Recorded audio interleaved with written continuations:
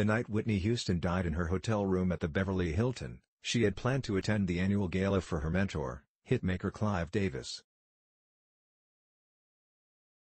Houston, 48, was getting ready for the party, her gown laid out in preparation, when she drowned in the bathtub, in a foot of water so hot she suffered burns from it. Cocaine and heart disease were cited as contributing factors.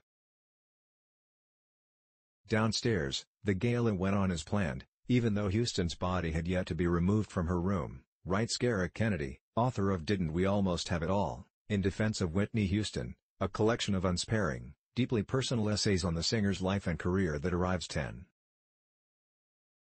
That decision, which Kennedy, then a reporter on the scene for the Los Angeles Times, calls grotesque, was merely another in a series of heartbreaking indignities that did not end with Houston's death.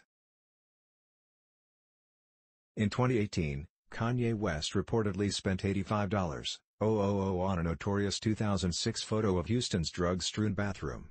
The picture, taken by a family member, had initially been sold to the National Enquirer, which put it on the cover, inside Whitney's drug den.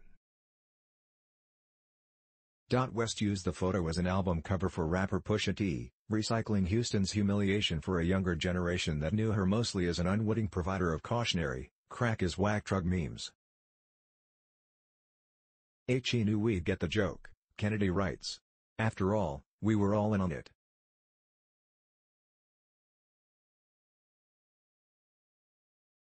In early 2020, Houston's estate sent a holographic version of the singer on tour, hoping that an uncanny valley version of Whitney would provide the income stream that her relatively paltry musical vaults had not.